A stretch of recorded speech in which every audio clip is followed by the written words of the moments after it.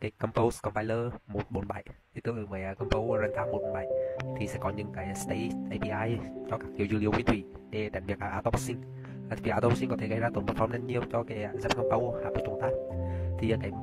cái cái um, state cho những kiểu nguyên thủy này thì nó không support cho cái kiểu uh, boolean này. Cái kiểu này thì đặc biệt rồi vì uh, auto parsing của boolean được thực hiện bởi cái lời gọi là uh, value of này. Thì cái này luôn luôn return một trong hai giá trị đó hoặc là boolean chấm thu hoặc là false thì hai cái này thì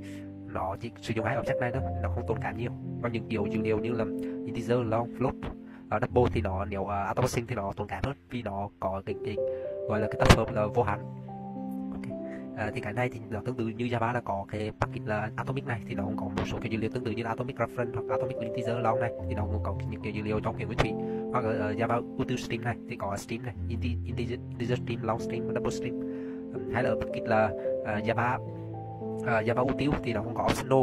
Ngoài ra nó cũng có arsenal thì và arsenal long thì đó là những cái package của bên Java nó support những kiểu dữ liệu thì thì thằng stay câu arsenal version 1.47 này nó cũng uh, gọi là uh, apply cái tư tưởng bên này qua. Ok thì những cái hình này thì các bạn có thể thấy bên bên trái là kiểu ờ, cột uh, trong 147 thì chúng ta cột là từ một stay up này